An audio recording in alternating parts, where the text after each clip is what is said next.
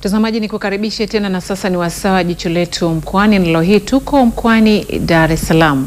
Watanzania wametoka kuwa na mazoea ya kupima mara kwa mara afya ya figo ili kutambua mapema tatizo la kuepuka gharama kubwa pindi wakibainika kuwa na matatizo ya figo katika hatua za mwisho.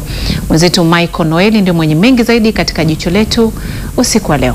Wito huu umetolewa na jopo la madaktari bingwa wa magonjwa ya figo wakati huu Tanzania ikielekea kuadhimisha siku ya figo duniani, maadhimisho yatakayofanyika kitaifa mjini Dodoma Alhamisi hii. Ukiwa katika hatua ya kwanza moja mbili tatu, utapima pressure kwa maana ya shinikizo la damu, utapima sukari yako, utapima mkojo, utapima uzito, haizidi elfu kumi.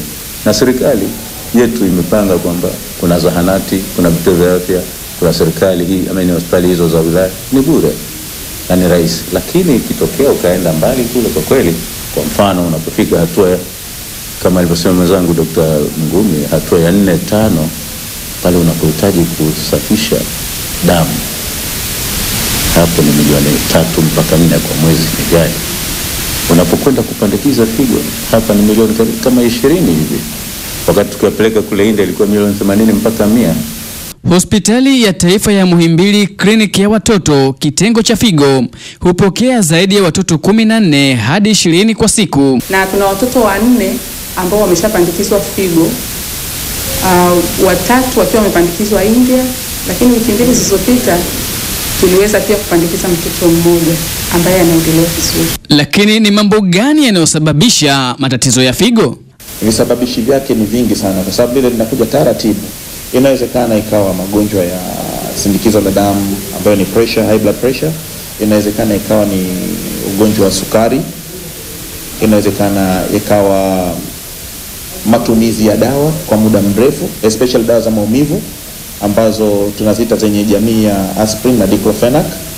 Hata matumizi ya hizi dawa za mitishamba ambazo zote huweza kupelekea kwa aina zote mbili kutokea. Dr. Jacqueline Shaw anaelezea athari za matatizo ya figo.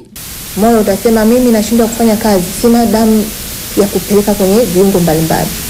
Unaona eh? Ubongo utasema jamani, na mimi ninakosa damu vizuri. Na, unaanza kupata tunasema hypoxia. Unaanza kukosa hewa ubongo. Ubongo kukosa hewa unashindwa una, una kufanya kazi sawasawa. sawa. Na unawezaje kutambua dalili za ugonjwa wa figo? Wengi wanavimba uso, kwa hata shangaa asubuhi akiamka amevimba uso, kadiri siku inavyoenda uvimbe unapungua. Kwa anavimba uso, miguu, tumbo, mwisho wa siku anajikuta ha amevimba mwili mzima. Kwa hiyo ndo, kwa hiyo ndo dalili kubwa watu wengi wanaweza kuiona. Lakini dalili kubwa ambayo wengi wanaweza kuiona ni ile kupungua kwa kiwango cha mkojo. Mwingine anashangaa siku inapita hajakojoa, anavimba. Kwa kupungua kwa kiwango cha mkojo, mtu hapo inaweza kukupa kiashiria kwamba hii ni shida ya figo. Lakini huenda kukawa na imani potofu juu ya athari kwa mchangiaji wa figo. Kuna athari zozote? Hiyo ni mojawapo ya changamoto ambazo tunakutana nazo, kwa sababu mtu anasema mimi nikichangia figo, mimi ni msichana, sijaolewa, naweza nikakosa mchumba au nikakosa kuzaa, au kijana nikakosa kupata mchumba au nikashindwa kupata mtoto, au mwingine anakwambia mimi ni mkulima, nitafanyaje kazi ngumu lakini kwa wale ambao wanachangia tunahakikishia kwamba hakuna madhara yoyote yanatokana na uchangiaji figo. Katika maadhimisho ya figo kwa mwaka huu, wataalamu mbalimbali wa figo watazunguka katika vituo mbalimbali mbali katika mikoa yote ya Tanzania bara na Zanzibar. Michael Noeli, Star TV, Dar es